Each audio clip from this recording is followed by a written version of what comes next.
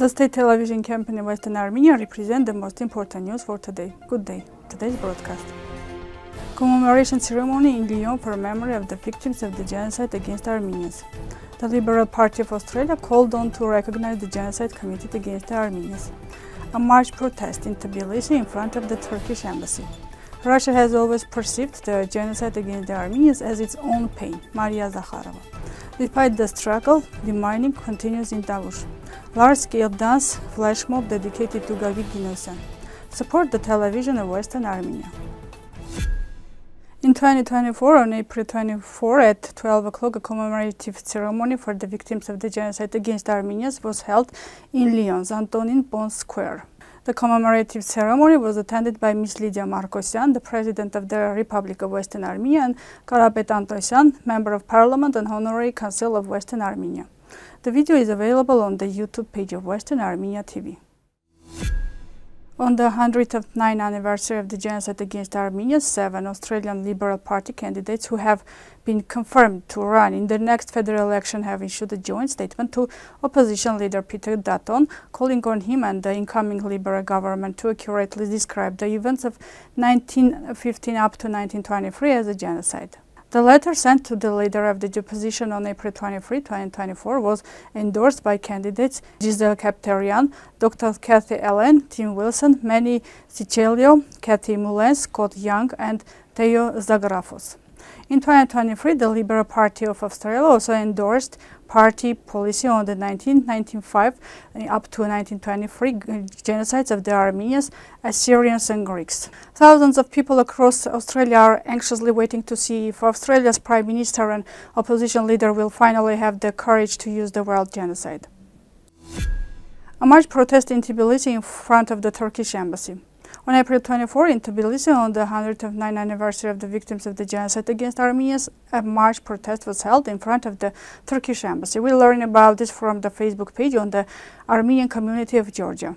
On genocide against Armenians in 1915 up to 2023 was also displayed in front of the embassy on under the presiding of His Grace Bishop Davtyan, an intercessory ceremony was performed in memory of the holy martyrs of the genocide committed against the Armenians who died for their faith and homeland, stated the information.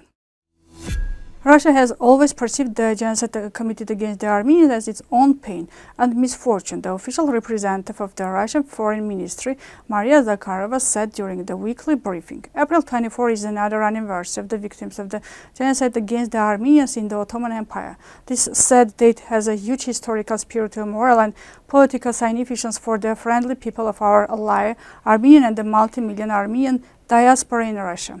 We have always perceived this tragedy as our own pain and misfortune, said Zakharova. According to her, Moscow was one of the first to announce the official recognition of the genocide.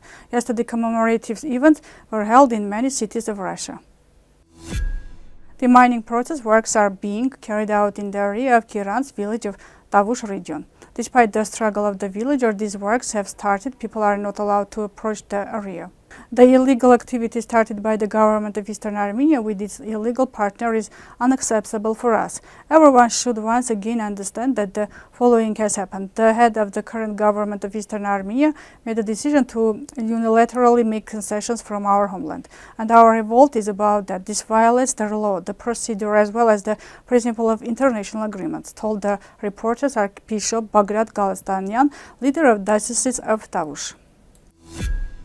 Since 1982, on the initiative of UNESCO's International Dance Council, April 29 is celebrated as International Dance Day.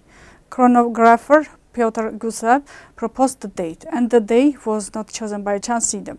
French choreographer, ballet theoretician, reformer Jean-Georges Noverre, known in history as the father of modern ballet, was born on April 29. Noverre was the first to stage independent dancing performances. On the occasion of International Dance Day on April 29, a large-scale dancing flash mob will take place. It is dedicated to the vivid memory of lecturer Gagik Ginosyan. Culture program, Dance Festival in the National Spirit will take place in the Republic Square with the participation of regional music schools, traditional ensembles, state ensembles, and other dance groups. The organizer is Artur Harutyunyan, a lecturer of the choreography department of Yerevan's theater. Western Armenia Television, being loyal to its principles and viewers, continues its uninterrupted work with new approaches. As you already know, our television does not engage in self-promotion. It broadcasts mainly political and other contexts related to the history, present and future of Western Armenia, as well as news raising various issues. We also present the political transition of the President of the Republic of Western Armenia, the government, the National Assembly, and other structures in a transparent and accessible manner. Dear compatriots, with your support, the possibilities of our television will be further expanded and strengthened. We are strong together. This was all for today. Goodbye.